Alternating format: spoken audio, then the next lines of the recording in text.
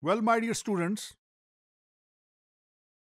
the course is Labour Policy Pakistan and the topic is Article 18, the Constitution of Pakistan 1973, freedom of uh, trade, business, or profession. Dear students, the Constitution of Pakistan 1973 provides that subject to such qualifications.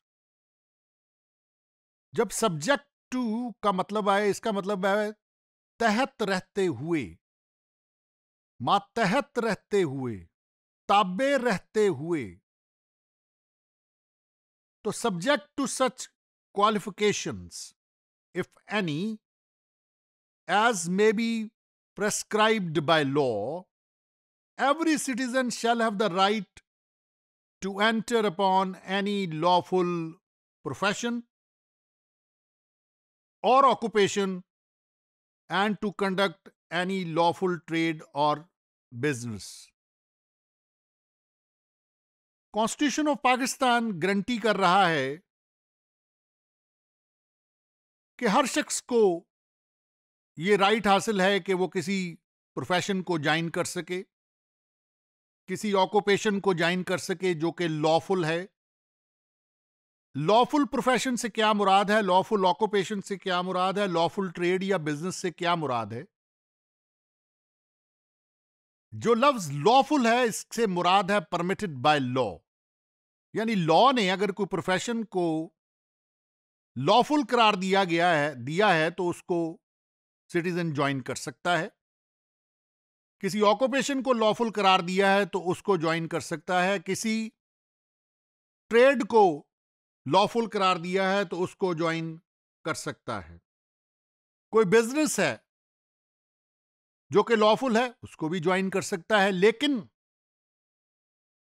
In professions in business को, इस trade को, इन occupation को join करने के ऊपर law के ज़रिए से गवर्नमेंट कोई ना कोई क्वालिफिकेशंस भी इंपोज कर सकती है। फॉर एग्जांपल एक शख्स जो कि एक एमबीबीएस डॉक्टर नहीं है, वो डॉक्टरी का प्रोफेशन ज्वाइन नहीं कर सकता। तो उसके ऊपर रिस्ट्रिक्शन है कि वो पहले रिक्वायर्ड क्वालिफिकेशंस जो हैं, वो पूरी करे, वो हासिल करे। तो इसी तरह इंजीनियरिंग का प्रोफेशन जो है, वो भी सब्जेक्ट टू क्वालिफिकेशंस है। लॉ का प्रोफेशन भी इसी तरह सब्जेक्ट टू क्वालिफिकेशंस है। इसका मतलब ये है कि हर शख्स, हर बिज़नेस प्रोफेशन और ट्रेड को ज्वाइन नहीं कर सकता अगर वहाँ पर रिक्वायर्ड क्वालिफिकेशंस की कंडीशन रखी हुई है। वैसे जेनेरिकली स्पीकिंग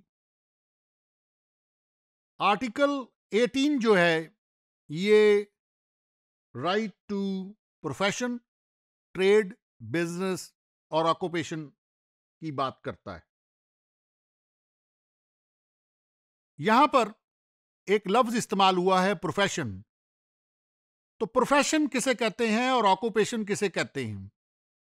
तो माय डियर स्टूडेंट्स प्रोफेशन जो है ये एक लाइन ऑफ़ वर्क है,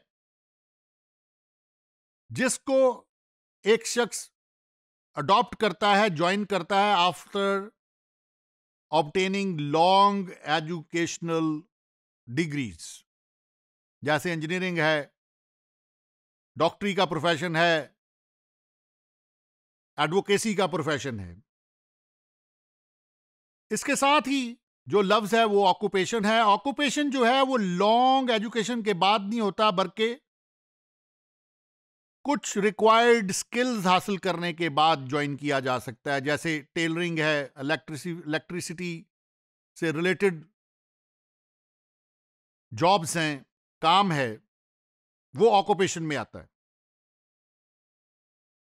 आप लॉ पढ़ रहे हैं, आपने कॉन्स्टिट्यूशन को देखा है लेबर पॉलिसी को देख रहे हैं तो ये जो आपके सामने आर्टिकल्स आते हैं तो इसमें एक लफ्ज कई दफ़ा इस्तेमाल होता है, उसे कहते हैं प्रोवाइडेड इसको प्रोविजो कहते हैं लॉ की लैंग्वेज में। और ये जब ऊपर जनरल स्टेटमेंट किसी क्लॉज में, किसी आर्टिकल में दी जाती है तो उसके नीचे इसको बाज, बाजुकात लिखा जाता है। और इसके ज़रिए से जो ऊपर वाली स्टेटमेंट है, उसमें एक्सेप्शन या कंडीशन या एडिशन को इंट्रोड्यूस करवाया जाता है। माय डियर स्टूडेंट्स ये जो फ्रीडम ऑफ़ प्रोफेशन है, इसको लाइसेंसिंग सिस्टम के ज़रिए भी गवर्नमेंट रेगुलेट कर सकती है। और इसके अलावा फ्रीडम ऑफ़ ट्रेड बिज़नेस और प्रोफेशन जो है, ये वहाँ पर भी अंडर रिस्ट्रिक्शन आ जाता है, जहाँ पर सरकार ने उस फ़ील्ड में अपनी कॉरपोरेशंस बनाई हों। तो फ्रीडम ऑफ़ ट्रेड बिज़नेस और profession is a fundamental right जिसके ऊपर सरकार कोई ना कोई क्वालिफिकेशन लगाने का हक महफूज रखती है। Hope you have understood the topic thank you very much indeed